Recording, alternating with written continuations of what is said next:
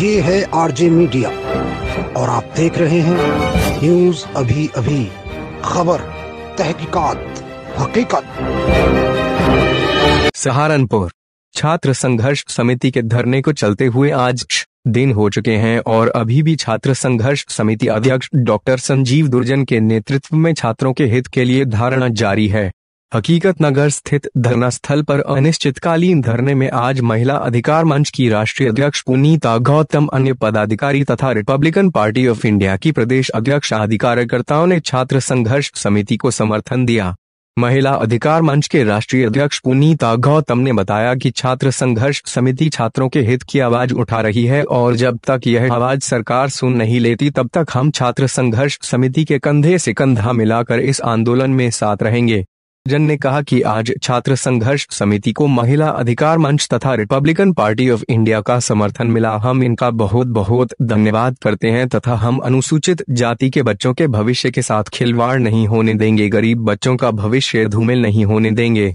धरने पर मौजूद रहे महिला अधिकार मंच राष्ट्रीय अध्यक्ष Punita Gautam, Republican Party of India प्रदेश अध्यक्ष, युवजन के जिला अध्यक्ष अमित गुर्जर, पूर्व छात्र संघ अध्यक्ष अर्जुन पंडित, वासिल तोमर अमित खारी, अनुज चौधरी, शिक्षक संघ के प्रदेश सचिव अमजद अली, महानगर अध्यक्ष गिउर आलम, वजाहत वली, सरफराज, जितेंद्र शिव कुमार प्रवीण गुप्ता, किरण पाल, धूम सिंह आदि मौजूद रहे।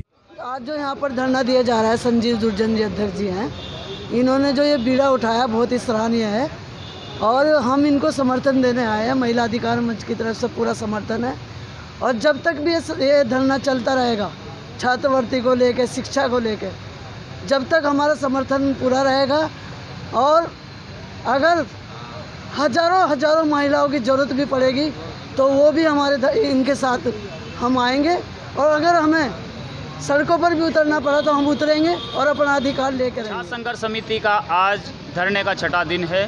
सभी साथी लोग लगातार धरने को समर्थन कर रहे हैं और आज हमारे समर्थन में महिला अधिकार मंच की राष्ट्रीय अध्यक्ष पुनीता गौतम जी और रिपब्लिकन पार्टी के बहुत सारे कार्यकर्ता और बहुत सारे पदाधिकारी गण, प्रदेश, यूथ के प्रदेश अध्यक्ष, जिला अध्यक्ष, प्रदेश महासचिव और इनकी पूरी टीम ने हमें समर्थन दिया है। चूँकि ये लड़ाई हमारी नहीं है, ये लड़ाई पूरे समाज की है, पूरे भारत की है, पूरे उत्तर प्रदेश की लड़ाई है। चूँकि छात्रों का भविष्य आज सरकार ने खराब कर दिया और इस अधिकार के लिए छात्रों को यदि सड़कों पर आना पड़ा तो हम सड़कों पर भी आएँगे, लेकिन आंदोलन हमारा लगातार चलते रहेगा।